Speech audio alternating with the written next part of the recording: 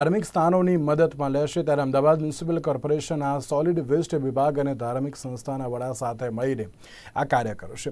ધાર્મિક એકમોમાં બેનર લગાવવામાં આવશે. જે વિસ્તારમાં કોઈ જગ્યાએ કચરો મોટા પાયે ડમ્પ થતો હોય તો ત્યાં ધાર્મિક વડાના લોકોને કચરો ન નાખવા પણ સમજાવશે.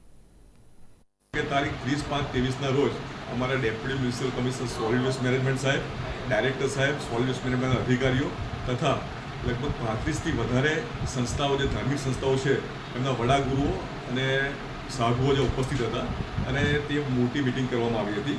એ મિટિંગની અંદર ખાસ કરીને તો શું છે કે સૂકો ભીનો કચરો જે અલગ થાય અને એક જાતનું જે જનજાગૃતિ કહેવાય, એ માટેની ખાસ મિટિંગનો એક મહત્વનો મુદ્દો હતો. એ માટે અમે અમદાવાદ મ્યુનિસિપલ કોર્પોરેશન દ્વારા સ્ટીકરો અમે ધાર્મિક સ્થાનમાં લગાવીશું.